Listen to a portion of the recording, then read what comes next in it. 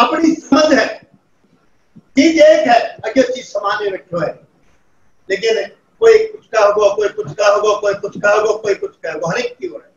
एक बार है, एक बार की बात सुनो एक नगरी में, एक नगरी में छह अंधेरा कर दो। छह अंधेरा कर दो। तो भाई सब लोग कहा हाथी सो हाथी सो हाथी सो। दूसरो बड़ो पशु ज़ीरो वो कह तो रहा तो कोई बड़े परेशान है सह के। कुछ है एक बार उस नगरी को बाहर हाथी आ गयो उन्हें निर्णय कर लियो अर्थात हाथी तुम समझ है। आज देख तो सकते नहीं। पर एहसास तो कर सके ना। वो कह लगे, एहसास करके कैसो एहसास? छह के छह पहुँच गयो। एक ना हाथ लगायो। कहने लगे तो भाई, बहुत भारे है पेड़ है, एक लगायो हाथ, पैर में।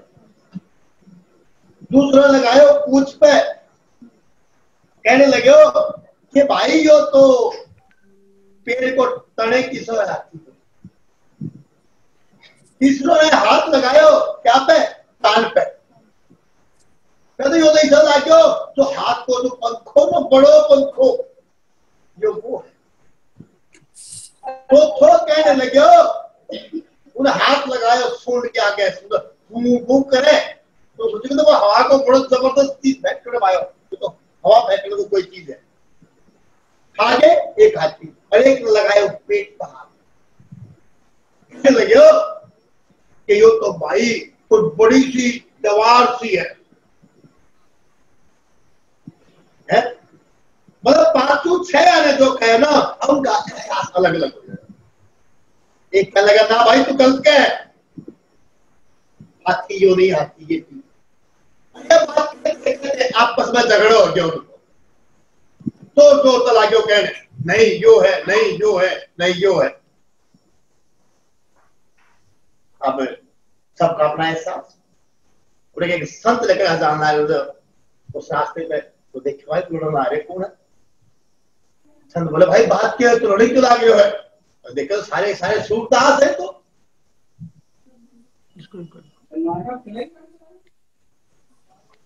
कि सारे के सारे सूरदास है तो। बोले बोलो क्या बात है भाई? तू लड़ो क्यों? हो चुप हो जाओ बताओ क्यों? बोला बात कुछ नहीं मैं तो हाथी एक बड़ो पंखो है।